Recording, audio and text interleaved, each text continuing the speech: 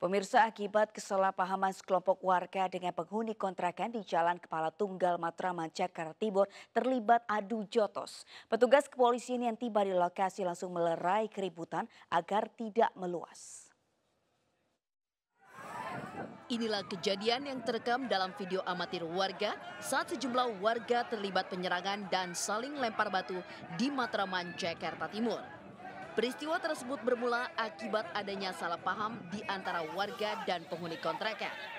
Saat salah satu warga memindahkan sepeda motor milik penghuni kontrakan lantaran menghalangi warga yang sedang memperbaiki drainase di depan kontrakannya.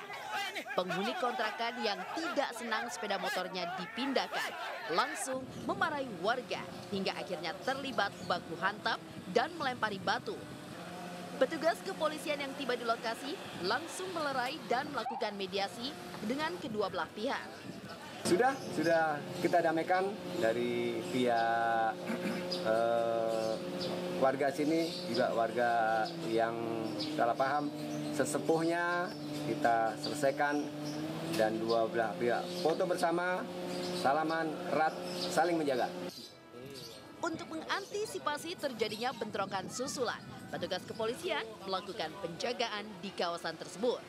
Dari Jakarta, Sofian Firdaus, iNews melaporkan.